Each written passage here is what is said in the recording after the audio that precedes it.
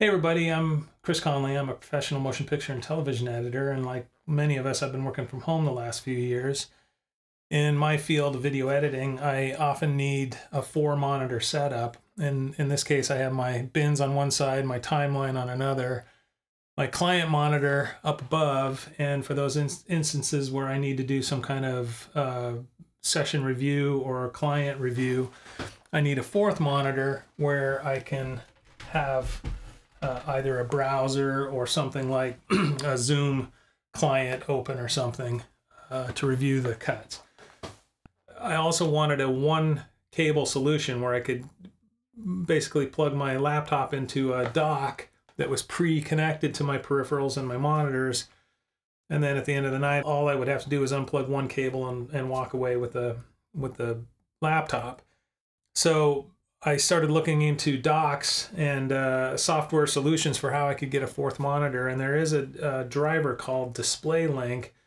It's a little bit of a hack. I don't know exactly all the uh, shenanigans behind the scenes that makes it work, but it does work for something like what I'm doing. I don't know that I would recommend it for people who need high performance playback, like gamers. But if you're doing something where you just need a client monitor output, especially in my case, I'm only running a 1080p client monitor output, so um, I don't think I'm in any way stressing the uh, DisplayLink software. So four monitors all working independently off of a 2021 uh, MacBook, 16-inch MacBook Pro M1 Max. So if you want to know if you can get four monitors running, yes, you can. And this is how you do it. Nine times out of 10, I actually run the system with the laptop in clamshell mode. So if I close this, You'll see here in the setups, it goes to a three monitor setup and I still have the others working as you would expect. Um, so the device that I ended up settling on is the OWC Thunderbolt 4, which is uh, here. Uh, I'll put links for these things below. This is working perfectly. Uh, originally, I had a, a device called a QGeeM, I believe, and I loved it. It was working perfectly. I did a video about it, but I unfortunately have to kind of revoke my uh, earlier uh, endorsement of it because the device runs so hot. I had to put a fan on it to keep it working. If I didn't have a fan, I'd start getting glitchy playback. And then ultimately it failed. Um, and I had actually, the one that failed was my second one. The original device that came to me uh, was faulty. So that's two devices that either were faulty when it arrived or ended up going bad. So I can't, with good conscience, endorse the whole QGeeM thing anymore, unfortunately. But the OWC device is working perfectly. Had it for about three weeks, has not gotten hardly above room temperature, and it just works. It's a it's a solid as a rock. It has three Thunderbolt 4 pass-throughs, and it has three USB 3 ports, and it also has an Ethernet port, which I needed. And then to get my client monitor display, I picked up this StarTech.com USB 3 to HDMI external video adapter. It actually is a DisplayLink certified device. There's devices that are more that are less expensive uh, but this one's very well reviewed, and because of the fact I'd had some failures, I just wanted to get equipment that worked. So, one cable to the OWC Thunderbolt 4 device.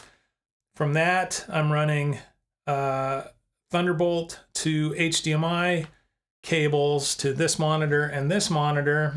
And then I've plugged this adapter into one of the USB 3 ports and it has an HDMI cable running that monitor.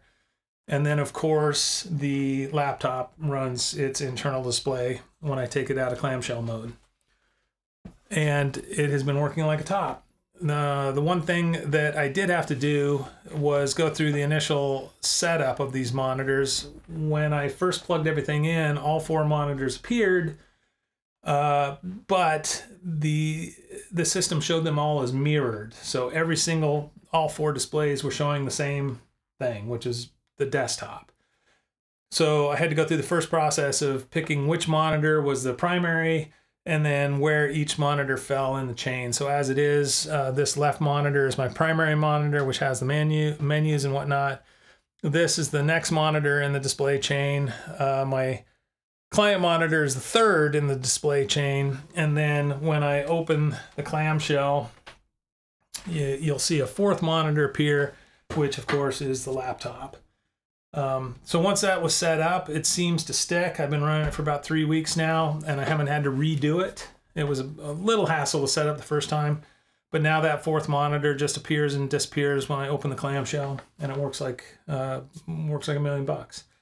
So anybody who needs four or three monitors and uh, you're running on an M1 Max, I, I can't speak to a lesser powered machine. But if you, at least if you're running an M1 Max, this works like a top. So uh, that's that, I guess. I won't ramble any further. I just wanted to give a little bit of an update for people who might be looking for a three or four monitor setup with a current MacBook Pro. Okay, hope it's helped somebody. Thanks. Bye.